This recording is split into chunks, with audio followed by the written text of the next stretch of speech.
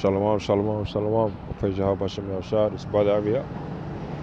H-O-I-N-Y. First want to give a praise to Yahweh Shem Shah and to the elders of HOI. Double honors to all the brothers and sisters as well as doing the work of the Most High. So today is going to come with a quick scripture lesson pertaining to endurance. And first of all, we're going to start with Colossians chapter 3, verse 17. Right? This Colossians chapter 3, verse 17. Whatsoever you do in the word or deed, do all in the name of the Lord Yahweh giving thanks to Yahweh and the Father by him. So we always got to give praise to the Most High first, and His only begotten Son Yahweh Shai. Give all due honors and credits to them. All right, now let's get into what endurance. We'll start with Matthew chapter 24, verse 13. It's the book of Matthew, chapter 24, verse 13. But he that shall endure unto the end, the same shall be saved. So the problem is, all people has been chosen as the nation of Israel, and specifically the men of Israel has been chosen to be what? To be soldiers of Yahweh Now, to be a soldier of Yahweh you have to be what? Disciplined. You have to endure, right? Through all trials and tribulations, and you got to continue in the faith. So part of endurance is what? You have to be disciplined. And that's very important because the scripture even says in Revelations, patience of the saints. You got to have patience. And endurance is a very important part. Right? So now let's go to, let's see. Let's go to first. Matter of fact, yeah, let's go to Sirach. It's the book of Sirach, chapter 2, and verse 1. My son, if thou come to serve the Lord, prepare thyself for temptation. So the Lord said, prepare yourself for temptation if you're coming to serve. Because now that you're serving the Most High in His truth, the devil's going to try to come at you heavily. All right? When you was in the world, the devil didn't give a damn. You know, like David said in Psalms 51, you know, he was shaping in iniquity. Right? He was born into this world in sin. But now that you're in the truth, the devil understands that you know the truth and that you know that the devil is around you. Right? Sin, iniquity, lust, envy, jealousy. Right? We deal with that every day. But now you understand that that's a sin which is breaking God's commandments. And to prove that, we'll go to First John. Let's see, First John this is First John chapter 3, verse 4. Whosoever committed sin transgresseth also the law, for sin is the transgression of the law. So you gotta understand Israel was given the law, like it says in Psalms 147, 19. So since we was given the law, we the ones that can transgress against the most high by sinning. So now we know that sin is breaking God's commandments. So in order to keep God's commandments, we have to stop sinning. And that's by keeping his commandments. Right? So now go back to Sirach chapter 2, verse 1 my son, thou come to serve the Lord, prepare thyself for temptation. And temptation is what? Lust, envy, right? The wickedness of sin. Set thy heart aright, and the heart means the mind. Right? Constantly endure and make not haste in time of trouble. Right? The heart means the mind. And the thing with the heart, it can be wicked in these times. Like for example, let's go to Jeremiah 17, and we'll go to verse 9.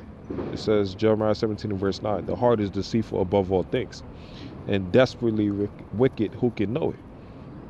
Right? So the Lord said, the heart of man is, wicked above all things. So you don't trust in your heart, right? You got to go to what? To the laws of the Most High. Like it says in Proverbs chapter 3, lean not unto thy own understanding, but trust in the Lord all thy heart. All right, so set thy heart aright, constantly endure, and make not haste in time of trouble. So you have to endure in this in this truth, in this walk. Cleave unto him and depart not away, that thou mayest be increased at thy last end. Right? Whatsoever is brought upon thee, take cheerfully, and be patient when thou art changed to a lower state. Right? Like for example, let's go to let's see. Matter of fact, let's go to there you go, Matthew chapter 5, verse 10. Blessed are they which are persecuted for righteousness' sake, for theirs is the kingdom of heaven. Verse 11 Blessed are ye when men shall revile you and persecute you, and shall say all manner of evil against you falsely for my name's sake. Rejoice and be exceedingly glad, for great is your reward in heaven. For so persecuted they the prophets which were before you. So Lord said you're blessed when people speaking bad about you, right? Throwing dirt on your name, like they did with Paul, like even Israel did with Moses, right? Like in the book of Numbers. Know, many different things, man. You know, Jeremiah, Ezekiel, right? You had Israel talking bad against their own people, even with Yahushua in the book of John, chapter 19, right? When they said we have no king but Caesar, and they gave up the only begotten son. So there's going to be a lot of things that we're going to have to go through in these last days, and you know we're going to be persecuted, man, and it's going to get crazy, right? Like for example, let's see John chapter 16 and verse one. It says, "These things have I spoken unto you, that you should not be offended." They shall the synagogues, yea, the time cometh that whosoever killeth you would think that he doeth God service. So speaking about those that's going to be carrying the spirit of Satan in these last days. That's going to try to betray those that are keeping the faith. That's keeping the commandments of the Lord. Because in this world, what? This world is wicked right now because it's under Satan authority. The spirit of Satan or the prince of air is ruling America right now. And not just America, but oppressing the whole world. So the nation of Israel, right? Those that the men, the Most High have chosen to be a light unto this world of darkness, right? We have to be strong in His faith brothers and sisters that's walking in His faith. We have to be very strong and we got to endure, constantly endure. All right, so now let's go to Sirach chapter 2. And cleave unto him, verse 3. Sirach 2 and 3. Cleave unto him and depart not away, that thou mayest be increased at thy last end. So the Lord said to what? To keep his commandments, walk in his ways, walk in his laws. Right? So thou mayest be increased in thy last end, which is speaking about what? The kingdom of heaven. Because it says in Second Esdras 6 and 9, it says Jacob, uh, Esau is the beginning, end of the world, Jacob is the beginning of it. Right? And that's going to be the end of the so-called white man's reign of supremacy.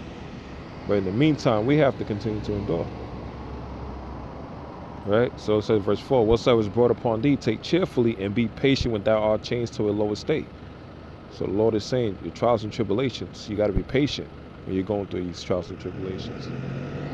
Right? Be patient when thou that change to a lower state. So when you come in this truth, you might lose your job. You know, you might lose your, your family members. You might break away your wife. A divorce. You know, your children might start to hate you. You know, it'll, it'll seem like the whole world is against you. Right? You feel like you're down and out, but that's the Most High using that to what? To humble you, right? And to give you a kind of a restart in this wicked world. Because guess what? This world that we're shaped in is iniquity, right? Like a product of your own environment. For example, you grow up in the hood and, and all you all you see around you is what? It's drugs, drug dealers, right? Killers, gangsters, people in different gangs and all this and that, right? Stealing, fighting, right? Shootouts, all different things you see, man, just from growing up in the hood. And you start to get used to it, you start to get desensitized to it. But it's not a good thing. You're not supposed to be growing up as a kid in like a dangerous environment like that. But we're used to that, right? Because like it says in Psalms 51, it says, let me see. There you go, Psalms 51 and verse 5. Behold, I was shaped in iniquity, and in sin did my mother conceive me. Right? So David even said he was shaped in iniquity. Why? Because through, through the spirit of Adam, right, sin have come into the world. Basically Adam and Eve. And now sin equals what? Death. And that's the thing. Right? Like for example, let me get Romans chapter 6. Romans chapter 6, verse 23. For the wages of sin is death, but the gift of God is eternal life through Yahweh Hamashiach our Lord. Wages of sin is death. So now, if you go back to Sirach, chapter 2, and verse 4, whatsoever is brought upon thee, take cheerfully, be patient with thou change to a lower state. All right? Because the Most High is what? He's trying you as gold in a fire. All right? Most High is going to try you. So let's see that. For gold is tried in the fire and acceptable men in the furnace of adversity. Right? So Laurel said you're supposed to be tried in the fire. You're going to be tested. Like it said in the book of James, it says, trust not every spirit. You're going to be tested, man. Right? So you got to be tried for this because the reward is plentiful, which is also the kingdom of heaven. And gold is tried in the fire because what? The most I have to test you. Right? So let's go to Hebrews chapter 12, verse 6. Hebrews chapter 12, verse 6. Start at verse 5. Hebrews chapter 12, verse 5. And ye have forgotten the exhortation which speaketh unto you as unto children. My son, despise not thou the chastening of the Lord, nor faint when thou art rebuked of him.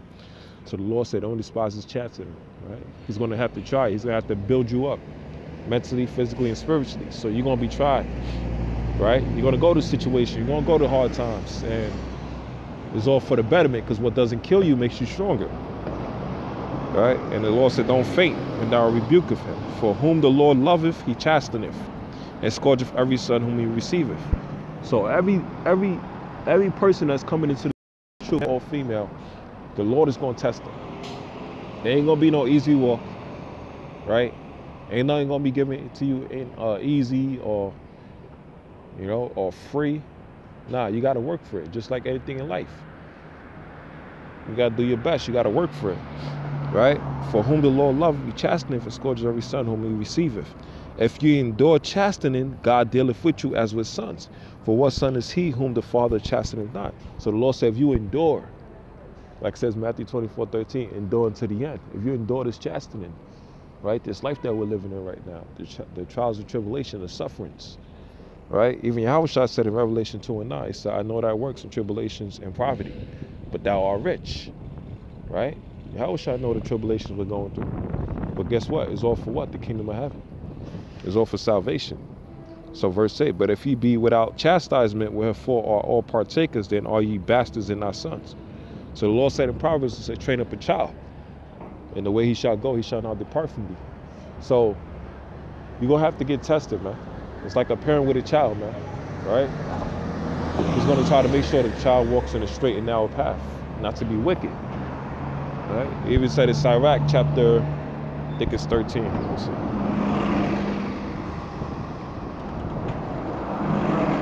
Let's see. No, Sirach at 30. Yeah, Sirach at 30. All right, there you go. Sirach chapter 30 and verse 2. He that chastiseth his son shall have joy in him, and shall rejoice with him among his acquaintance. Right? So you shall have joy in your children. Right? You teach them correctly. If they go off, you're gonna have to you gonna have to, you know, you're gonna have to correct them, right? And shall rejoice with him among his acquaintances. That means amongst his people, his peers, his friends. He teacheth his son is he that teacheth his son grieveth the enemy, and before his friends he shall rejoice with him. Right? Because you know, we already know damn well Esau is, is the enemy of nation of Israel.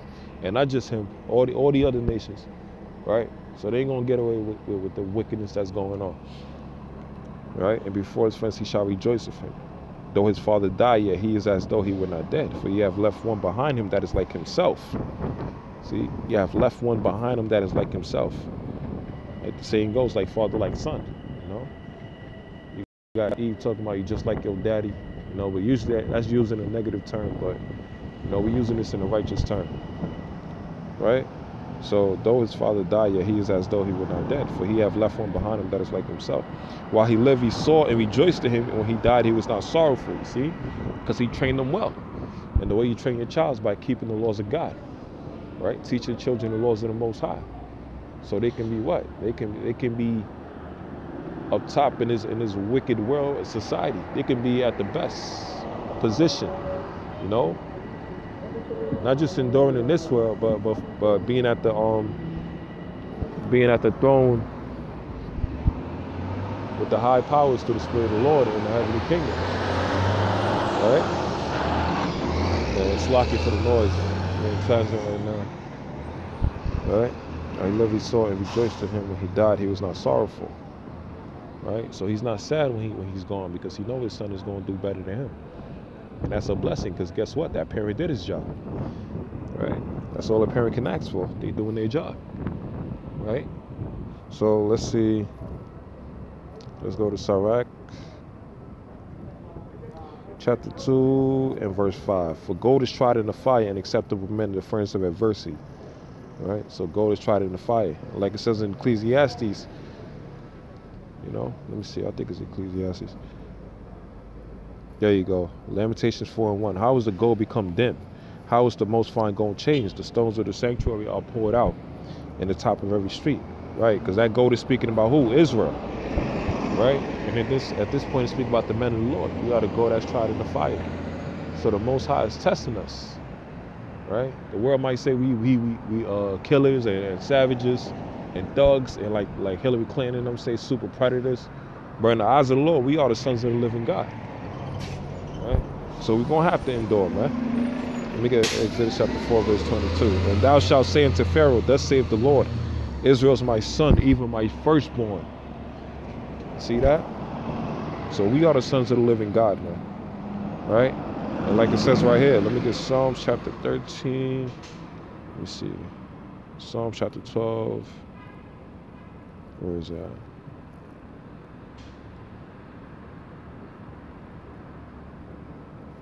Think it's oh uh, not Isaiah. Yeah. There you go. You gotta be here. Isaiah chapter 13, verse 12. I will make a man more precious than fine gold, even a man that than the golden wedge of Ophir. Right? It's speaking about the men of the Lord. Most High is gonna make a man more precious than fine gold. Because what? Isaiah 33 and 6, it says wisdom and knowledge shall be the stability of thy time. Right? And that's only for who? The nation of Israel. That wisdom and knowledge is only for the nation of Israel, and most particularly is speaking about the men of the Lord in these last days. Right? Most High is going to lift up the men of the Lord and give them back their damn respect. Right? As as the representative representative representations of the Most High on this earth to enforce His law, statute, and commandments with His wicked society. Right? So the Lord said, "What? You have to endure. You have to be tried as gold in a fire." Right? Because the Lord even says what? Let me get Sirach chapter 6 and verse 7. If thou wouldest get a friend, prove him first and be not hasty to credit him. For some man is a friend for his own occasion when I abide in the, in the day of thy trouble. And there was a friend who being turned to enmity and strife would discover thy reproach. The Lord said, if thou wouldst befriend, get a friend, you got to prove him first. So guess what? Same as the Lord did with Abraham, he had to prove him as a friend. The Lord is doing that with the nation of Israel he got to prove us as a friend first, right? It can't be no fake outs, man. You know, scripture says adjustment fall seven times to get back up, right? You're gonna have to endure, man. We're gonna fall sometimes, man. We're gonna go through trials and tribulations. We're gonna slip up, man. You know, but the Lord said, get right back up, endure. Keep pushing, don't stop, right? Let me see. So let me see. Uh, let's see. Yeah, we'll go to Sirach. All right. It's a good one right here. Sirach chapter 2 and verse 12. Woe be to the fearful hearts and faint hands and the sinners that go two ways. So death and destruction to those that are fearful, right? That's scared because the Lord didn't give us the spirit of fear. Right? And faint hands and the sinners that go two ways. So the Most High give you the spirit of fear. He give you the power of love and strength. Right? The Lord said, don't be scared, like said Joshua 1 and 8. You can't be fearful. Right? And it says, Woe unto him that is faint hearted, for he believeth not. And you got to believe in the Most High. You got to believe in these laws and commandments.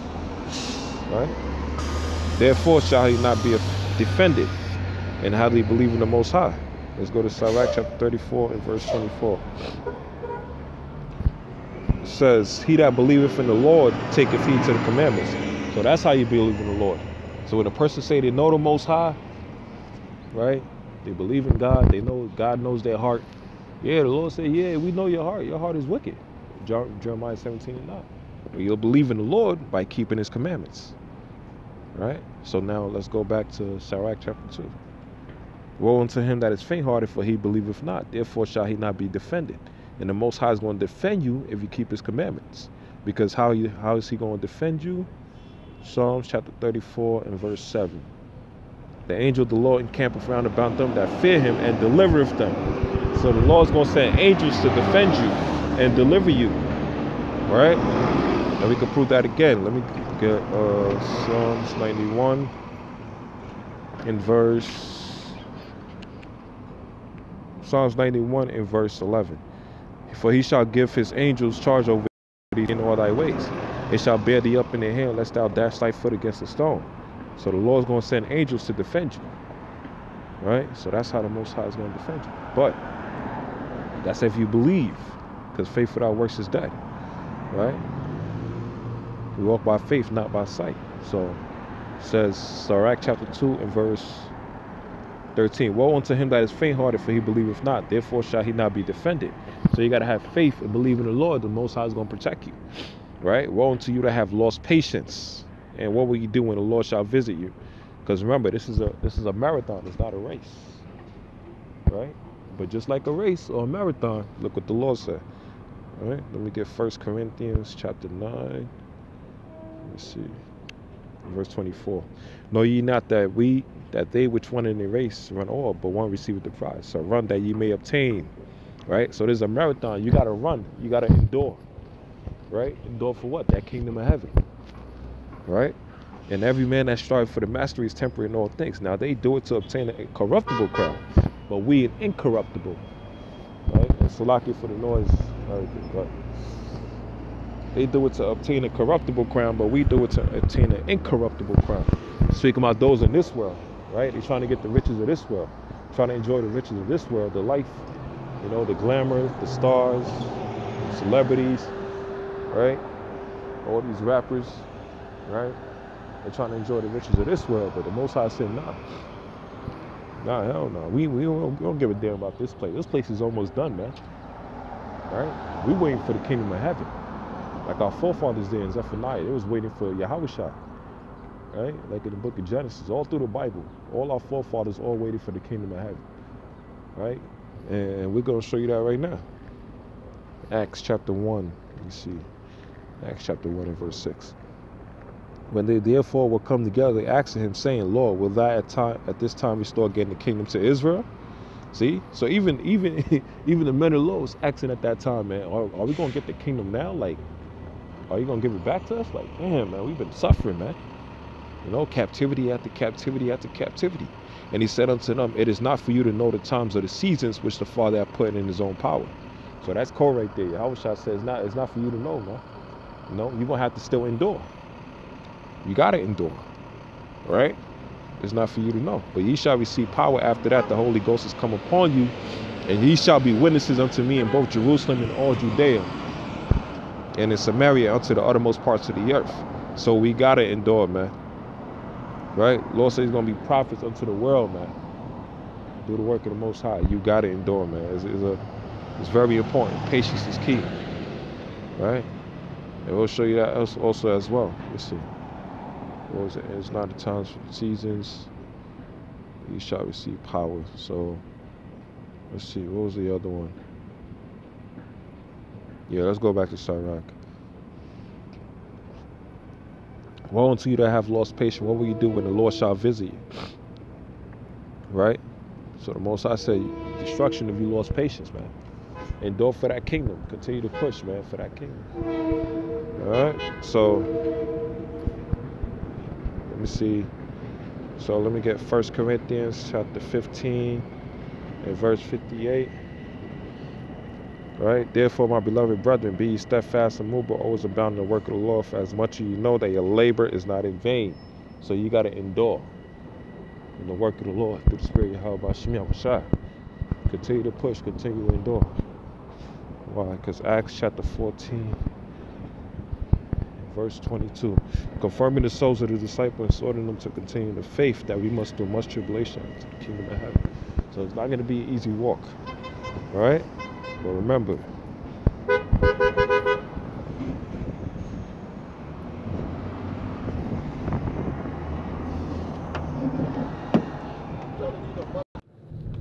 So it says, Isaiah chapter 48, verse 10 Behold, I have refined thee, but not with silver. I have chosen thee in the furnace of affliction. For mine own sake, even for my own sake, will I do it. For how should I name my name be polluted? I will not give my glory unto another right? So basically, the Lord have chosen you, and He's going to refine you as gold in the, in the fire, right? In the furnace of affliction and adversity, like says Acts 14 and 22. Verse 12 Hearken unto me, O Jacob and Israel, my called. I am He, I am the first, I am also the last. So the Most High is the one that's going to get us out of this captivity. The Lord is the one that chose us, and the Most High is the one that's going to deliver us. So, like I said again, all spirit Yahweh Bashem Yahushua, endurance is key. Continue to stay diligent and let's continue to push and do the work of the Lord. Kwam Yasharal. Shalom.